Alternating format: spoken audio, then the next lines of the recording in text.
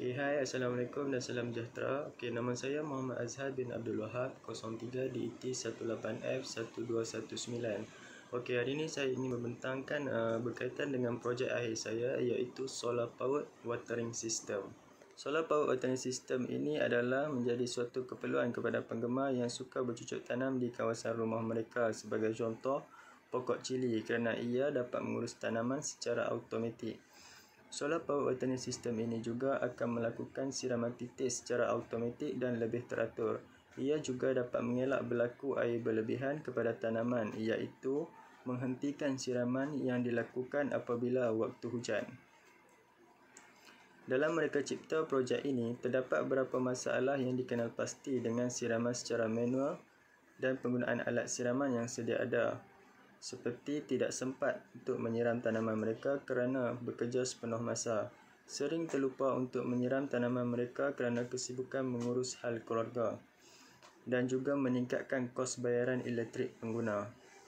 Untuk menyelesaikan penyataan masalah berikut, objektif projek ini memudahkan lagi pengguna untuk menggunakan solar power watering system ini dan dapat mengatasi masalah tersebut iaitu masalah kekangan masa dapat diatasi oleh alat ini kerana beroperasi secara automatik. Tanaman akan menerima air yang secukupnya. Dapat menjimatkan kos bayaran elektrik kerana menggunakan tenaga solar. Projek yang di okey ini adalah projek yang dihasilkan. Sebelah kiri adalah uh, lukisan daripada AutoCAD dan di sebelah kanan ini adalah uh, real model skop kajian. Ia boleh melakukan penyiraman selama 20 minit dua kali sehari secara automatik. Sensor hujan akan mengesan kehadiran hujan dan penyiraman tidak akan berlaku pada waktu itu. Dan apabila sensor hujan tidak lagi mengesan air hujan, motor akan melakukan penyiraman seperti biasa. Boleh menyiram secara titis di antara 1 hingga 15 polybag. Ini adalah senarai komponen yang digunakan pada solar power watering system iaitu uh, water pump 12 volt DC, bateri, solar charger controller, range sensor Arduino Nano, RTC relay one channel dan solar panel.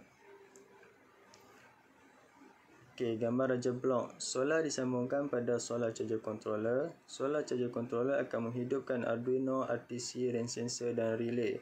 Range sensor dan RTC akan disambungkan pada Arduino. Relay akan relay akan dijadikan sebagai switch untuk on off motor mengikut isyarat daripada Arduino. Okey, ini adalah pengaturcaraan projek yang digunakan dalam sistem penyiraman solar power watering system tersebut. Okey, hasil dapatan catat ini yang merupakan peratusan bagi keseluruhan soalan pada sistem penyiraman secara automatik dan penggunaan tenaga solar. Berdasarkan rajah di atas, 5% uh, 5% adalah peratusan bagi skala tidak memuaskan, 10% adalah bagi 10% adalah bagi skala tidak pasti. Bagi skala sangat memuaskan, peratusannya adalah 60% dan 25% adalah peratusan bagi skala memuaskan. Peratusan ini menunjukkan bahawa sistem penyelaman secara automatik dan penggunaan solar ini berada dalam keadaan yang sangat memuaskan. Kesimpulannya, projek ini direka khas untuk memudahkan pengguna agar dapat melakukan penyiraman kepada tanaman mereka secara automatik tanpa perlu menggunakan tenaga manusia serta menjimatkan masa dan kos. Ini kerana ramai penggemar yang suka bercucuk tanam di kawasan rumah mereka sebagai contoh tanaman cili hanya sebagai hobi ataupun keperluan. Tetapi mereka tidak dapat melakukan kerana mengalami masalah kekangan masa dan sebagainya. Jadi saya berharap solar power watering system ini dapat memudahkan lagi pengguna untuk menyiram tanaman mereka dengan lebih berkesan. Hai, Assalamualaikum. Nama saya Muhammad Azhar bin Abdul Wahab. Nombor metrik saya 03 DT18F1219. Okey, hari ini saya nak present tentang uh, projek akhir saya iaitu solar powered watering system iaitu ia akan menyiram secara automatik Okey, objektif projek ini adalah uh, ia akan menyiram tanaman selama 20 minit dua kali sehari secara automatik tanpa menggunakan tenaga manusia. Yang kedua, ia dilengkapi dengan rain sensor untuk mengelak daripada uh, berlaku siraman ketika waktu hujan.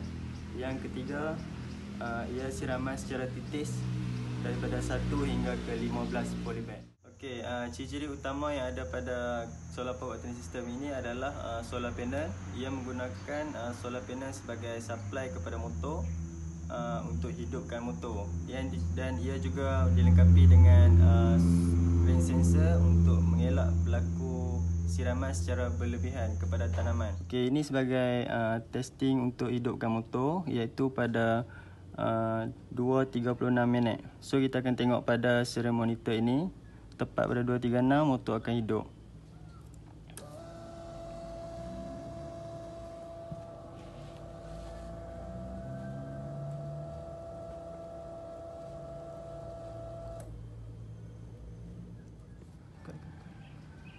Okey, uh, pada 237 uh, test kedua uh, motor tidak ada berfungsi kerana uh, kita letak ayak pada panel untuk test dia sebagai hujan.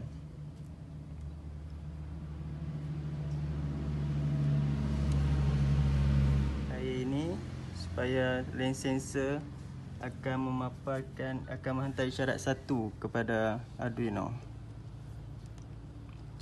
Okey, kita akan menggunakan uh, supply untuk hidupkan Arduino uh, sebanyak 5 volt daripada uh, port USB charger controller.